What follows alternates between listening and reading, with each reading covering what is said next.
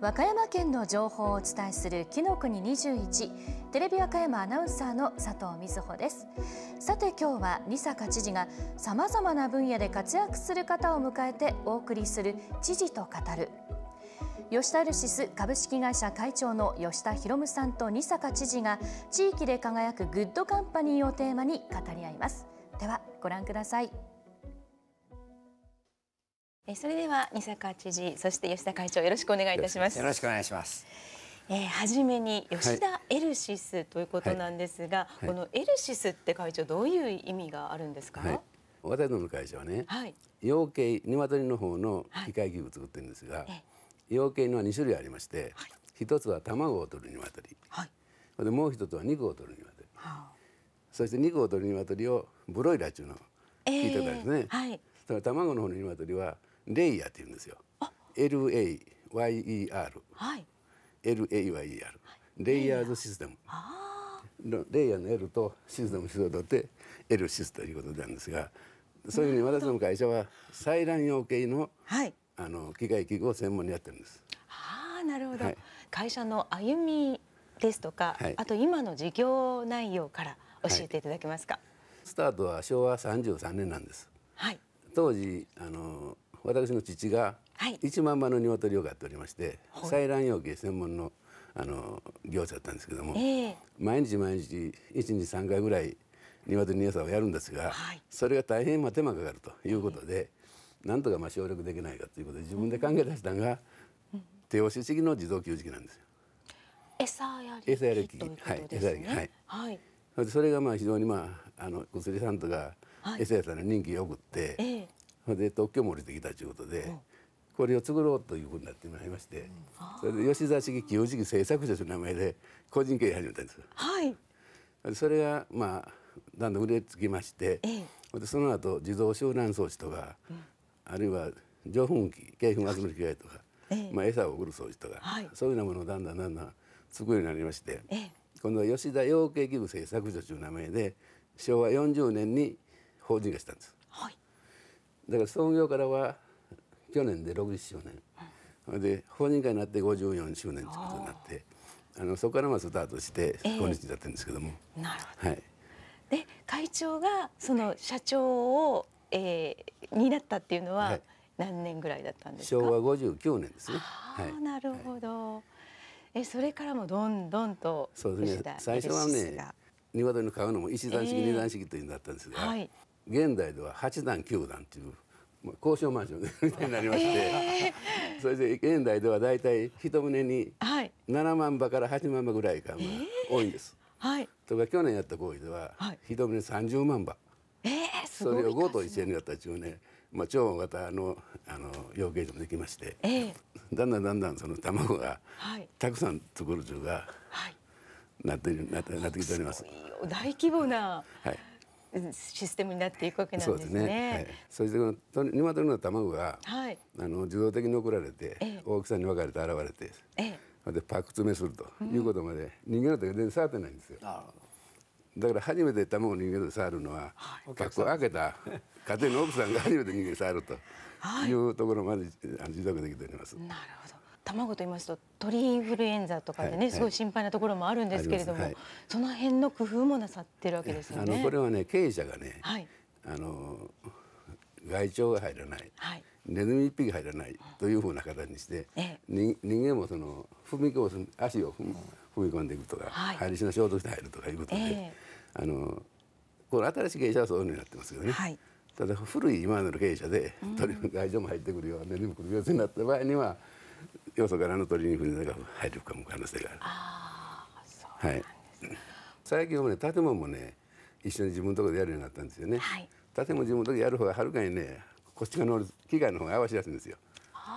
建物できる時代から参りますんで、はい、だから建物もできるだけやろうということで、ええ、あの協力会社が増やしまして、はい、あの建物もやるあるいは GP センターというで、ええ、建物をパックしたりするそのその建物も一緒にやるじゃないかと。はい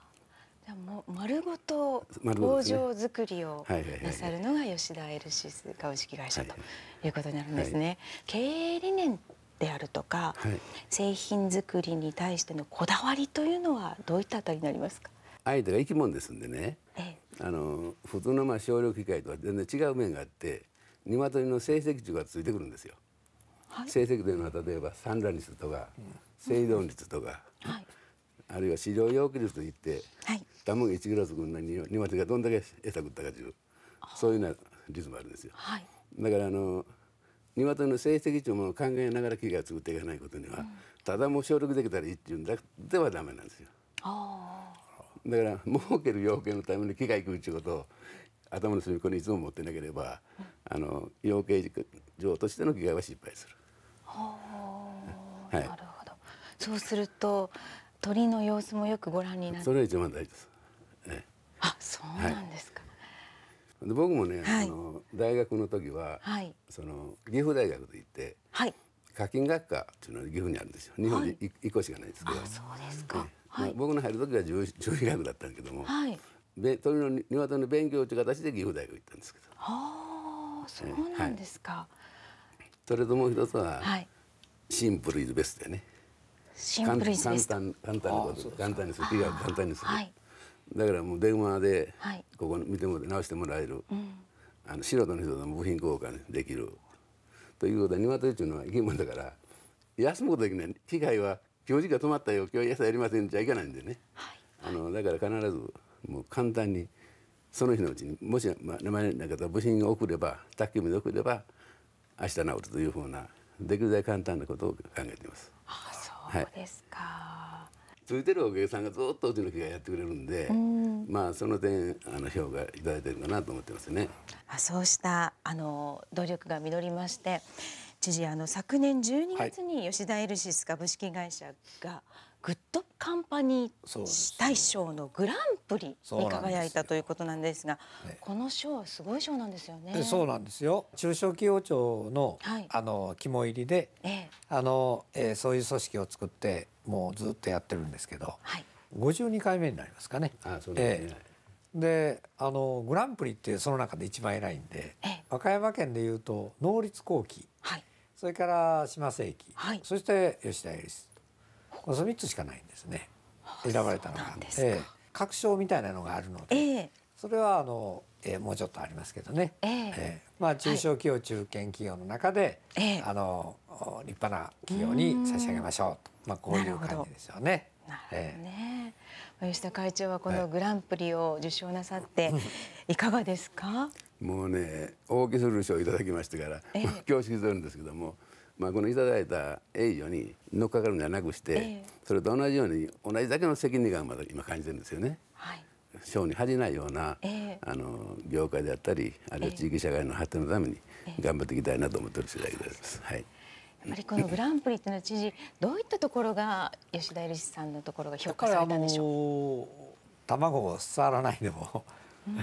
さーっとパック詰めまでできちゃうっていうね、ええ、それはやっぱりあの効率の点でも衛生の点でもものすごくいいわけですよね。はい、それからあの鳥さんの生産性を上げるという点でもいいわけですね。でしかもね、はい、そういうのをあのご自身っていうかまあ会社であの経営者から始まって、まあ、従業員の方も今やっておられると思いますが自分たちで全部こう考えて作り上げていくわけですよね工夫して。はいこういうのをオンリーワン企業って言うんですけど、はい、オンリーワン企業のまああのものすごく立派なもんだと思いますね。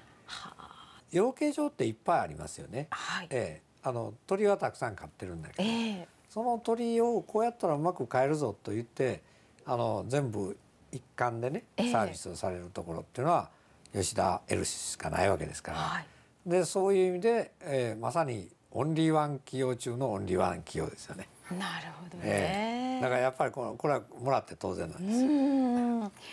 確かにあの卵って昔から値段の変わらない優秀なものって言われますよね。ね物価の優勢ですよ。そうですよね。まあそのそういった卵がずっと今もこう値段変わらずっていうのはこういった機会がそういうことですよね。そうですね。結局終戦後からもう70年経ちますけどね。えーあのほとんど値段変わってるんですよね、はい、まあ今年まだ特別安いんですけどね1月から。あそうですけど、はい、それはねやっぱりこのねあの少量化によって、うん、もう人件費ほとんどかからないというね、えー、いい商品ができてきたが一番大きな原因と思いますね。なるほど、ね、えーところで吉田会長は平成16年から五房の商工会議所の会頭をお務めでいらっしゃるわけなんですがさまざ、まな地域活性化のための取り組みも行っていらっしゃる、どんな取り組みをなさっている？のかご紹介いただけますか、まあ、あの一番いいのは企業融資が一番大きいんですけども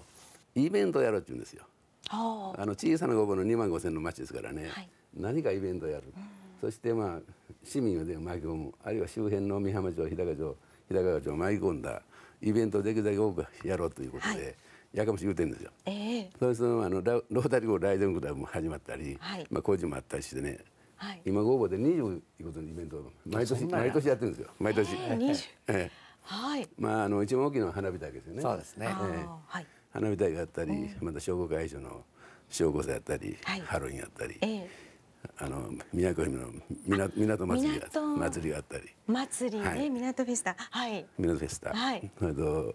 宮古姫のあの検証祭があったり。はい。それでごぼう祭りに紹介されるような、各地域の祭礼があるんですよ。はい。それとスポーツ大会が多いんですよね、はい、スポーツ大会も何何でも全部ありますよね。ゴルフある剣道あるゴルフ剣道、えーはい、テニスあるゲートボールある何でもあるんですよ、えー、あそれと、はい、そうした中にあって、えー、この木の国ロボットフェスティバルがあるんですね。木の国ロボットフェスティバルは今年は第12回目。で小学生中学生は小中学生全日本小中学生ロボット選手権大会といってね、はい、全国大会なんですよ。えー、で高校生はあの国内県内大会でやってるんですね。えー、それで今年はあの北は宮城県、はい、南は宮崎県、うん、その中で850チームが参加をして各地区で予選して、ええ、そので8チームが合合してきて、え、決勝対決するんです。中国のチームも来ましたね。中国中国来た。中国のチームも去年からね、もう2回連続ね参加ですよ。同じようにあの日本の少女が一緒に、あの競争してね。はい。すごく大きな大会大きいですよ。大臣賞はあの小学生中学生がね、はい、文部科学大臣賞と経済産業大臣賞あるんですよ。はい。二つ。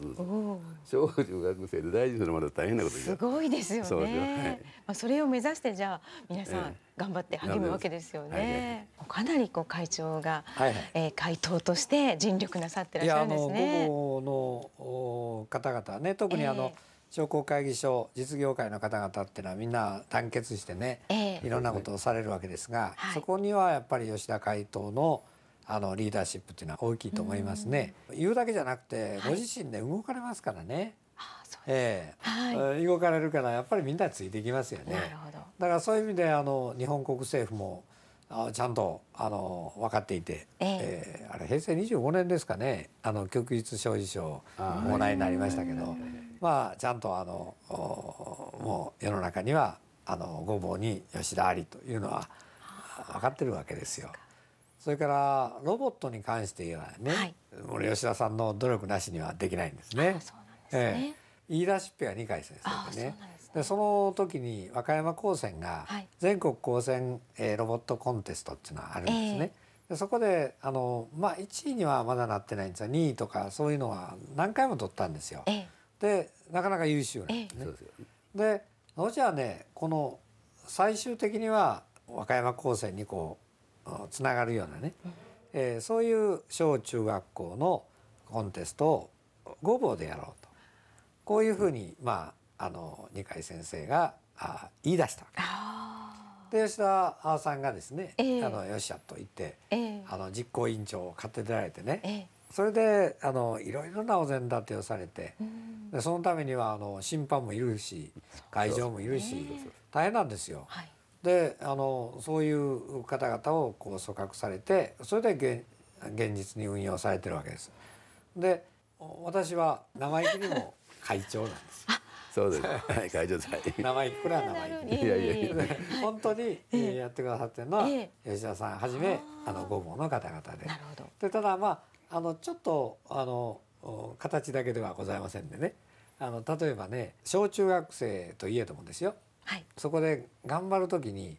あの観客がいないと面白くないでしょ。ええー、そりゃそうですよね、ね、例えば甲子園行くぞと言ったらね、はいうん、県の予選の時からみんな応援に来るじゃないですか、はい、あんな雰囲気でないとなんとなく励みにならない。確かに。で従ってその同級生をね、うん、あの称えようということで、見に来いと。あいうような運動をしてみたりそれからあのレイアウト。これもあのごぼうの方々がねものすごく寄付されたりして立派に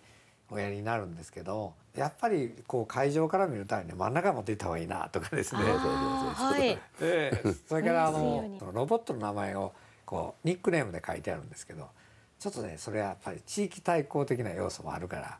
どこどこっていうふうに変えた方がいいなとかですね。まあそういうのをね、えー、あのアドバイスをしたり教育委員会にお願いしたり、多少は頑張ってるんです。そう、知事の間いっぱいですよ。アイデアたくさんですね。ね素晴らしいですよ。コンテストに関してはすごく大きくなって。そうですね。ね毎年。十二回目ですからね、今年、ね、去年やったのね。かなり全準全国大会ぐらい。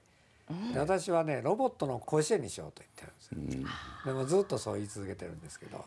あのごぼうここにありっていうのをね、えー、あの全国にやっぱ発信したいわけですよ。せっかく一生懸命やってくださってるわけですからね、ね、私の就任した時と二階先生があの言い出されそれで吉田さんが動かれたのと同じ頃なんですね。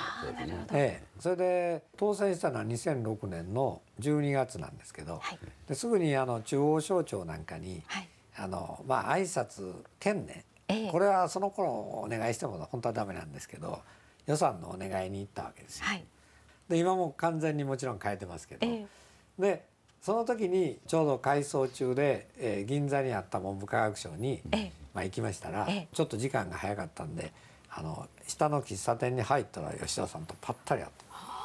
た吉田さんはそれをあのお願いにね、えー、文部科学省の補助金をもらいに行かれてたんです。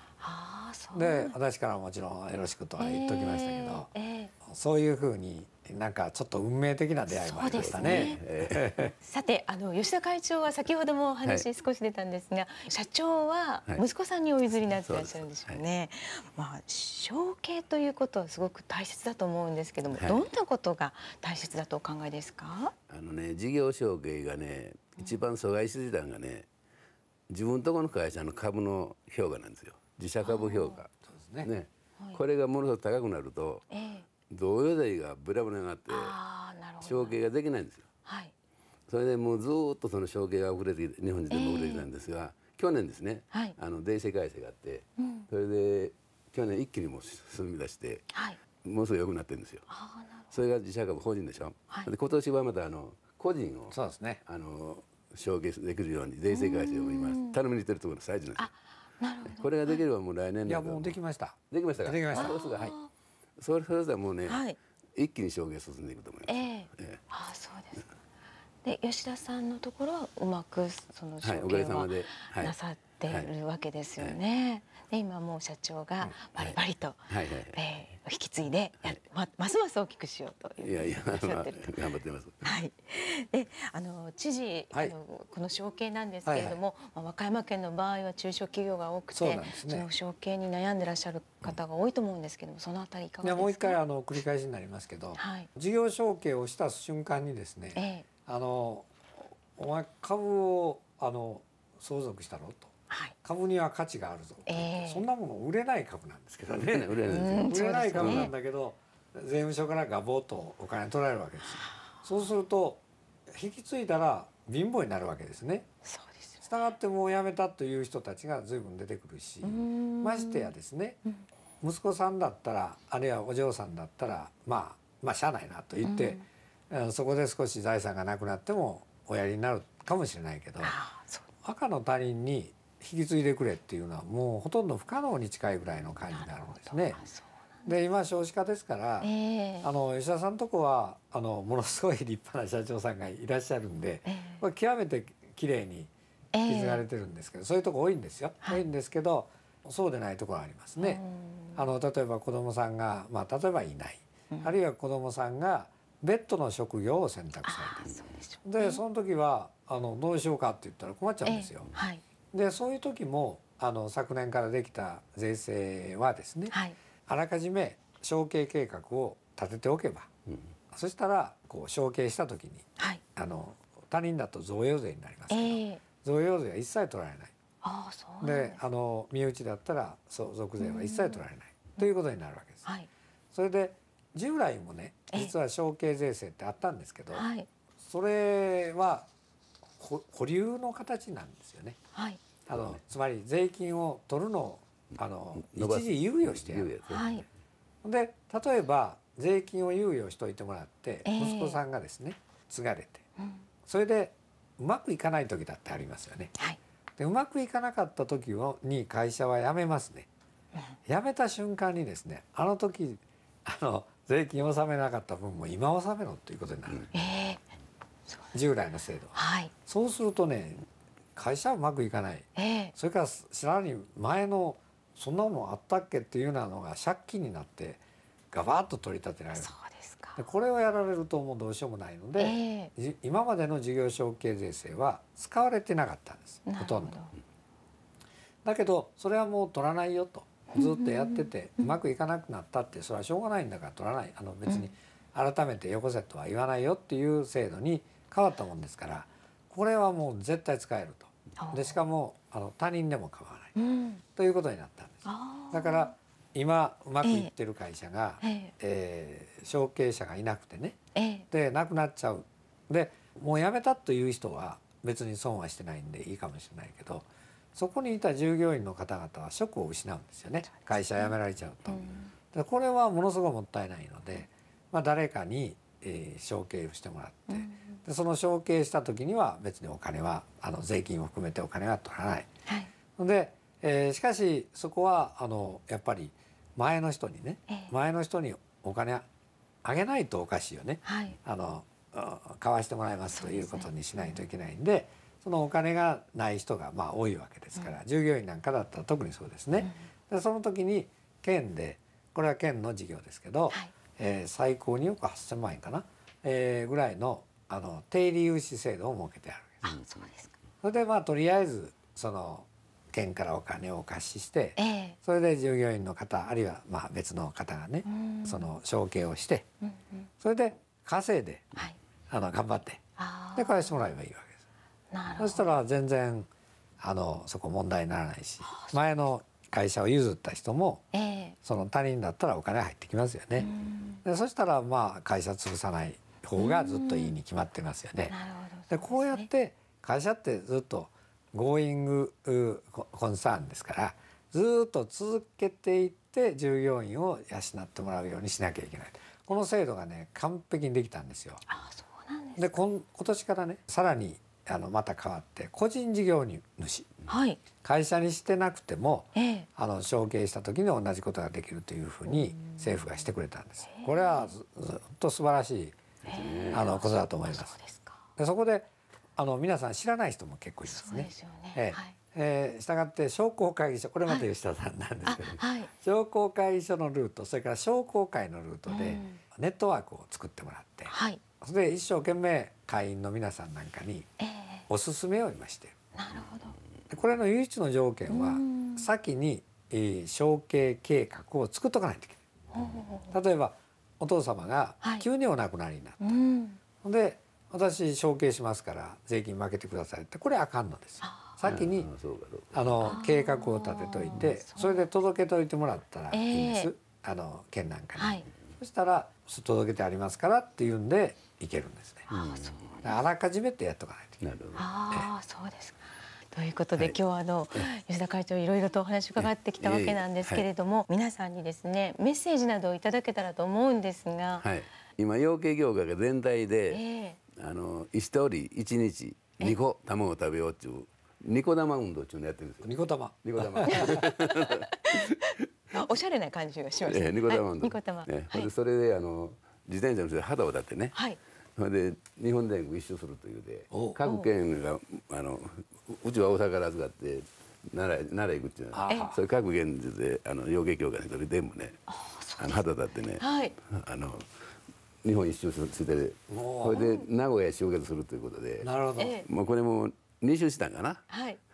そういうのやってるんで、ええ、あのぜひとも卵をしっかり食べていただいて ニコ玉運動に協力いただけますようによろしくお願いします。知事からはいはい。お願いニコ玉食べましょう。ありがとうあの実はね吉田エルシスなんてのはもう典型的な立派な和歌山の企業なんですね。ええ、創業されて大変あの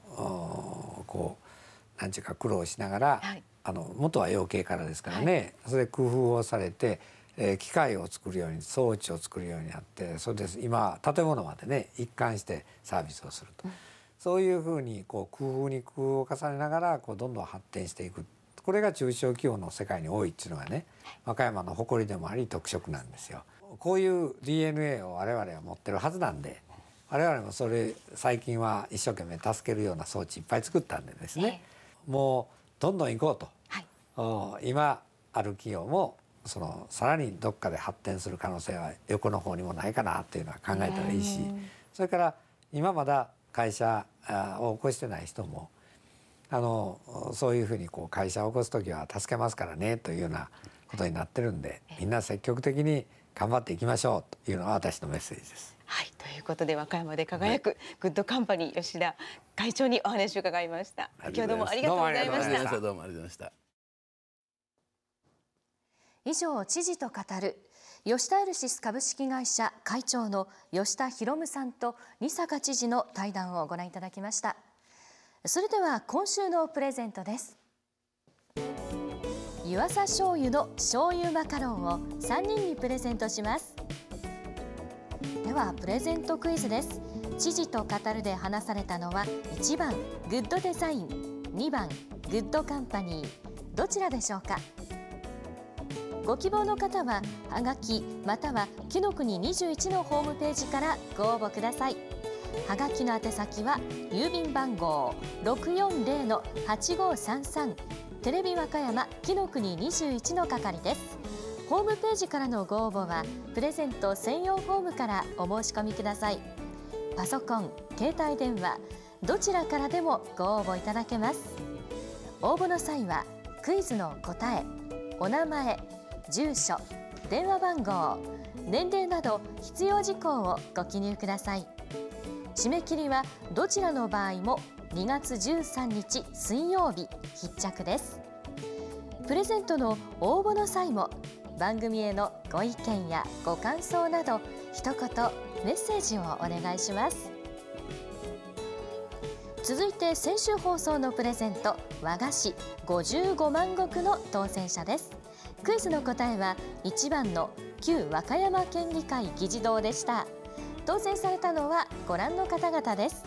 おめでとうございます。